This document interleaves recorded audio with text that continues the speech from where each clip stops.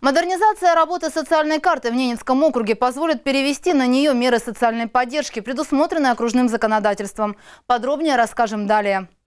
На заседании постоянной парламентской комиссии по социальной политике руководитель Департамента цифрового развития, связи и массовых коммуникаций Ненецкого округа Антон Лебедев представил информацию о модернизации работы социальной карты. Напомню, социальная карта – персонифицированная пластиковая карта с информацией о человеке. Банковского приложения у подобного носителя нет. Все социально нуждающиеся категории граждан при помощи нее получают различные меры поддержки. Например, бесплатный проезд для пенсионеров в общественном транспорте.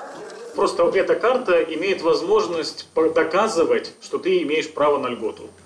То, что там на, на ней есть деньги, это как бы, ну окей, это твои деньги. Но прикладывая ее, там, например, в транспорте, ты подтверждаешь, что имеешь льготу или бесплатный проезд.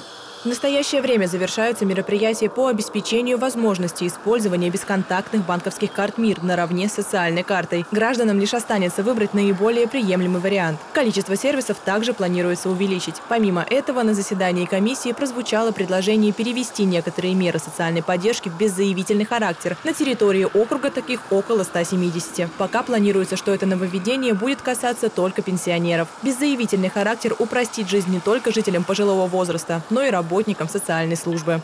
Для того, чтобы э, не надо было регулярно подтверждать свое право на получение э, определенных льгот, э, вынесли данный вопрос и обратили внимание, что в первоочередном порядке необходимо рассмотреть единовременную компенсационную выплату гражданам пожилого возраста, как пожилого человека, также речь идет о региональных компенсационных выплатах пенсионерам. Их размер в настоящее время составляет 3,5 тысячи и 3108 рублей в зависимости от трудового стажа. Помимо этого прорабатывается вопрос о возможности использования социальной карты как способ идентификации личности, например, для получения лекарств или посещения общественных бань.